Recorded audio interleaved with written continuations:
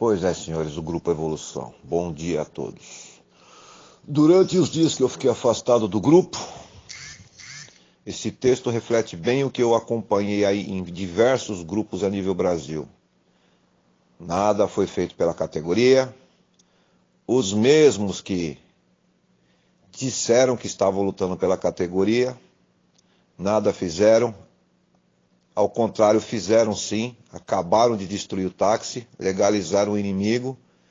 E agora vem todos os grupos fazendo propagandas políticas, dizendo que temos que colocar a gente lá, porque se não fizermos isso, seremos sucumbidos. Senhores, eu acompanhei esses dias inúmeros taxistas, colegas nossos, depositando alvará, financeira buscando carro e não vi por parte de nenhum deles, de lideranças, pseudo-lideranças, fazerem nada por essas pessoas.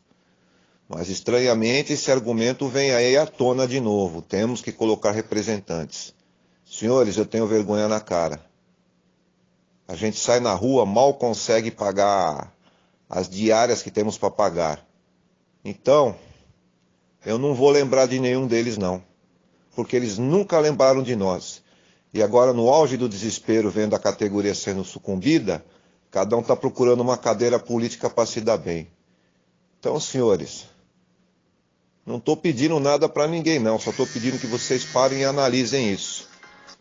Porque, do jeito que a coisa está, acho que até o fim do ano a gente não sobrevive mais. Prometeram que essa 5587 seria a solução, fomos contra trouxemos a lei 13.640, o prefeito se omite em concluir a lei, as lideranças estão preocupadas aí em se eleger politicamente, então em quem vocês vão acreditar? Então, pessoal, vamos começar a analisar friamente e não colocar ninguém para representar a gente. Ninguém, porque até agora eles não lembraram de nenhum de nós. Obrigado pela atenção.